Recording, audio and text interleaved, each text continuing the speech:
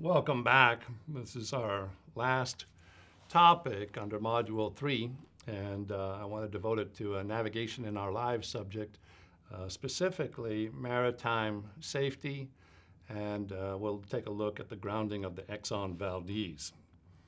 Um, and so here's a photo of Exxon Valdez. As you can see, it's a big, uh, fairly big oil tanker. Uh, this photo was taken just recently, taken, taken in March of this year, March of 2014. Uh, so it's not uh, ground there, but it's a, a, good photograph that gives you a feeling for the, the size of it.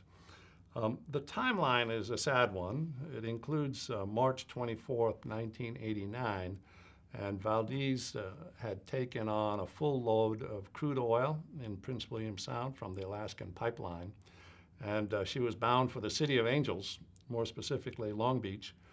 And uh, as she was exiting the sound, uh, did make a course change to avoid an ice floe that people had reported by radio. And unfortunately, that maneuver went badly, and the Exxon Valdez ran aground on Bligh Reef, uh, which is out in Prince William Sound. The hull came apart, ruptured, and they had 50 million gallons of crude oil on board they spilled 11 million gallons of that into the Prudhoe Bay. And that, prior to 2010, was the largest oil spill ever in U.S. coastal waters. It was a real mess. Uh, it impacted about 1,000 miles of Alaskan coast. Later on, I'll show you uh, a timeline of uh, the impact on the uh, wildlife in that area. Uh, there have been bigger oil spills since, but uh, not many uh, this still ranks as, as certainly a, a, terrible event. Um, here is a map showing the course of the Exxon Valdez, and it took on board oil uh, up in this direction, back that way, and she's coming out of the, the bay and was alerted to possible ice in the normal shipping lanes that uh, are used for tankers as they exit the sound. And so she swings uh, to the south and follows this path, you know, way outside now of the normal southbound lane, crosses the northbound lane and gets itself all the way down here. Somewhere in here, it figures out that it's in the wrong spot and uh, starts to swing back and runs into uh, Bligh Reef. And uh, they couldn't get it uh, off the reef. It, it, uh, it ran aground hard and it was stuck there. Um, if you're interested, there are any number of videos and uh, kind of mini movies online about what may have happened that night. take a look at them if you're interested. The uh, the response of the community was rapid. Uh, there were certainly people on site within hours. Uh, however, it did take a long time to really put in place effective uh, mitigations. And, and so uh, the 11 million gallons flowed up and down, mostly down the Alaska coast. And here's just a photo of the damage we're talking about. This is just a nominal chunk of Alaskan coastline. You can see the black gunk on all the rocks on the right. As the tide goes up and down, the oil settles on the shore, and then you can certainly see the oil film there in the ocean.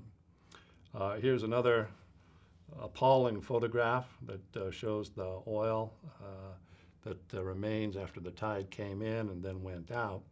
And so that was characteristic of uh, hundreds of miles of Alaskan coast. Here's a, a nice uh, view graph, if you want to call it that, from NOAA, uh, the National Oceanic and Atmospheric Administration of the U.S. And what they've done is plotted from the time of the accident, 1989, through to the present, the impact on the species and habitats, and at what point they began to uh, really return to health. And the bald eagle there you can see in 1996, it was doing reasonably well again, some uh, seven years after the oil spill. But uh, we come all the way out here to 2013 for the recovery of the sea, recovery of the sea otter and the harlequin duck.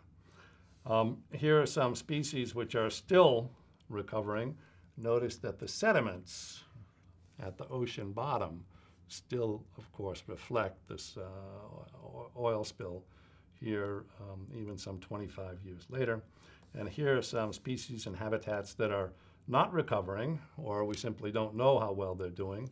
And so the killer whale, at least this pod AT1, has not recovered. The herring have not come back the way that uh, we would hope. And uh, we're still a little bit unclear on those birds shown there on the right. So it's fair to ask, why did this happen? GPS is accurate to five meters. The Exxon Valdez was off course by thousands of meters. And uh, the fact of the matter is that at that time, GPS was not required carriage, and uh, they simply didn't know where they were. And to their credit, the U.S. Coast Guard responded to this by putting in a network of differential GPS stations around all of the U.S. coasts. And equally importantly, uh, that differential GPS network and the, the means for looking at the GPS signal and the means for broadcasting any corrections out to ships in the coastal waters was adopted worldwide and that was done by the International Association of Lighthouse Authorities. and uh, if you think about it, that's an extremely apt and correct organization to worry about GPS and navigation in coastal waters. They're responsible for the lighthouses worldwide. So they took on, they added to their mission this broadcast of differential GPS. We'll talk about, uh, we have talked about differential GPS earlier, and so this is a system that was implemented worldwide, and at its peak, there were about one and a half million users of uh, that differential GPS system. Today, it's being slowly phased out in favor of the space-based or satellite-based augmentation systems that we also talked about uh, earlier on, uh, but that function of GPS and GPS monitored was in part driven by disasters like the Exxon Valdez. Thank you for your attention.